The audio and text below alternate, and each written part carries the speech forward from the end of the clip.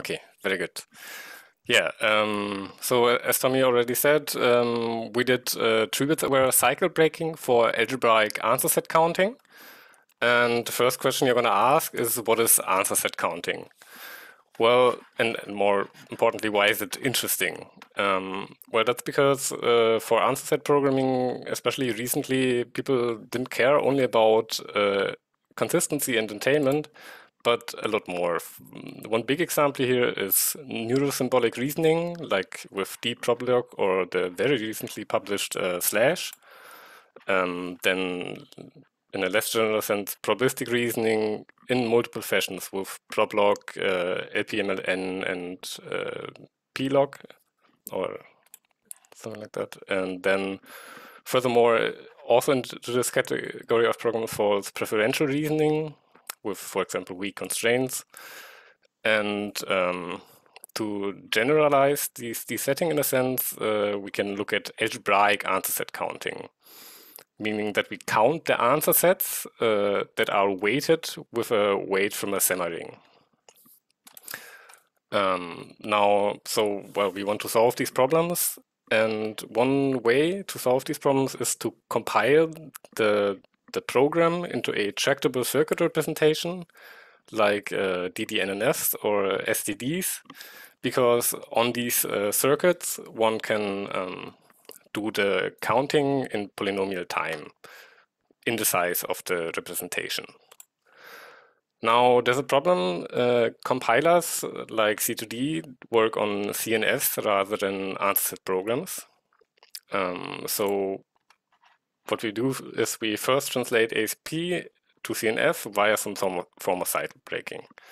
Now, there are many cycle breaking uh, algorithms already, um, but uh, we chose to introduce a new one because uh, compilation has performance guarantees based on tree width.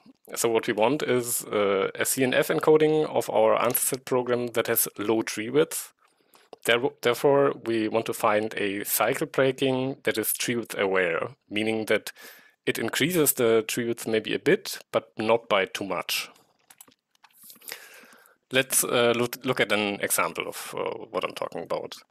Here we have some probabilistic program um, where uh, this says that the that A is true with probability 0.3, and the same holds for B.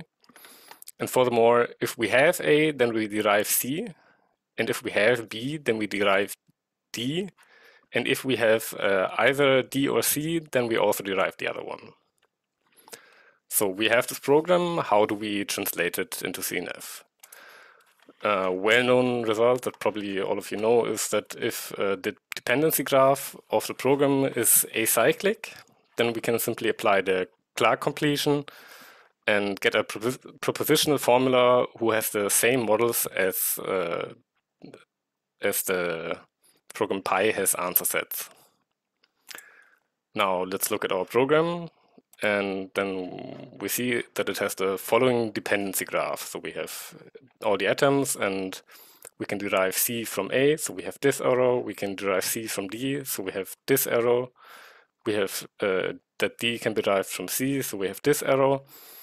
And this already shows us a problem here because uh, we have an arrow in both directions, meaning we have a cycle, meaning that uh, we are therefore not guaranteed that um, Clark, Clark completion gives us uh, the, the same models as we have answer sets.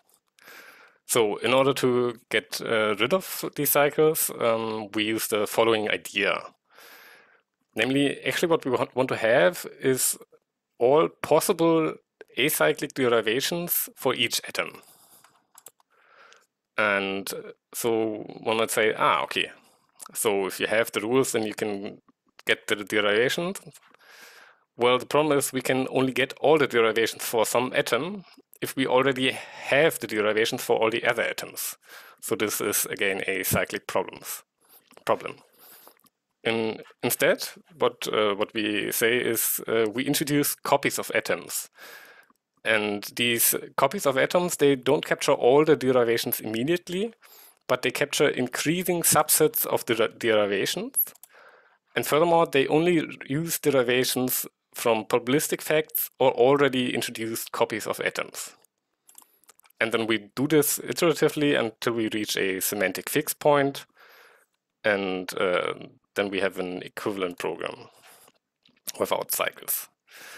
Now, what's a very important insight here is that the order in which atoms are copied is very uh, crucial.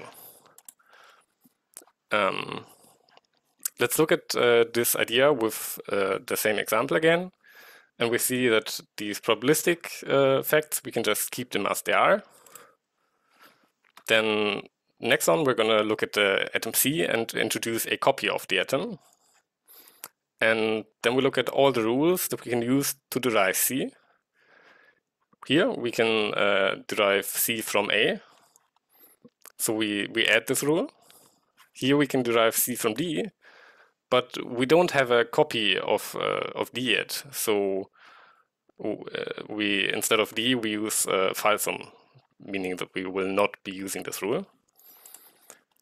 Next, we're going to introduce a copy of D and copy all the rules that derive D. Again, B is a probabilistic fact, so we can use it already. And furthermore, for C, we now already have a copy, so we can use it here in this derivation.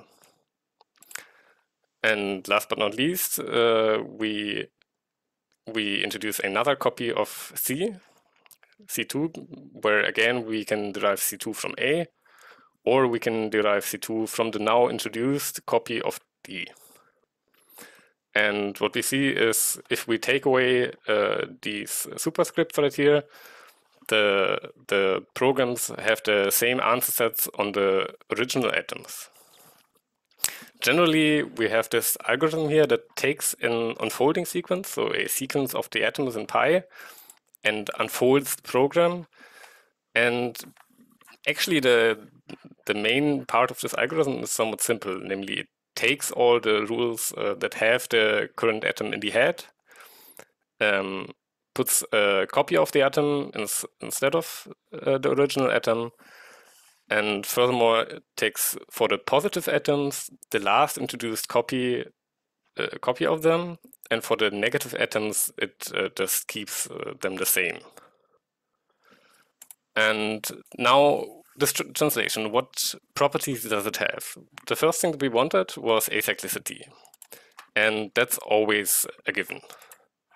Next up, we also, of course, want that uh, we have the same answer sets on the on the original set of atoms, and they should be preserved bijectively. And here we see that's not always true, but depending on what unfolding on unfolding sequence S we use, um, it is true, and we introduce this condition here to check this. And coming back to our original point, well, we wanted a cycle breaking of low tree width. So is the tree width going to be low? Well, um, that depends. But what we what we can see is that if every atom only occurs at most m times in this unfolding sequence S, then the tree width will only at most grow by a factor of m. So um, yeah, so what we want to do is we want to get good unfolding sequences. And we, we do that um, using a new structural parameter called the component boosted vector size of graph that measures the cyclicity of a digraph by decomposition into easy to solve subgraphs.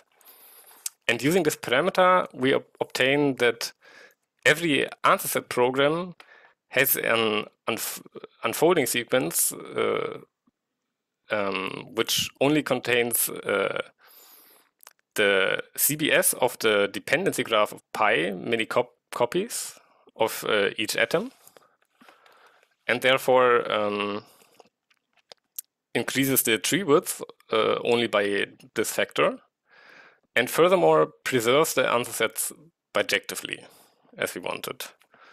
So what we see is um, with this parameter, we can get a tree width where uh, cycle breaking as we desired.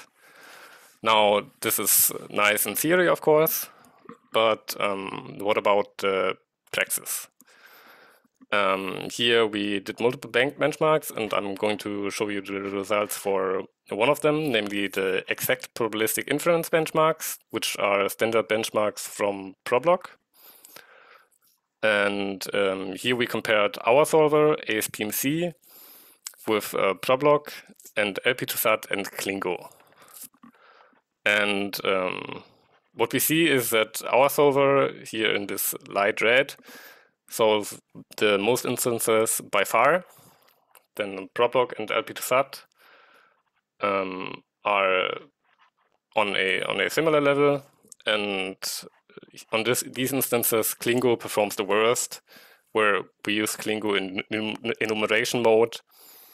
And yeah, because these instances have a lot of answer sets, takes way too much time to enumerate all of them. So, uh, summing up, we see that uh, the component boosted vector size, which measures the cyclicity of digraphs, is a useful tool that we can um, use for our treewidth aware cycle breaking. And um, this is not only interesting theoretically, but also practically as our, even our prototypical implementation already partially outperforms other state-of-the-art solvers that's it from my side. I'm looking forward to possible questions.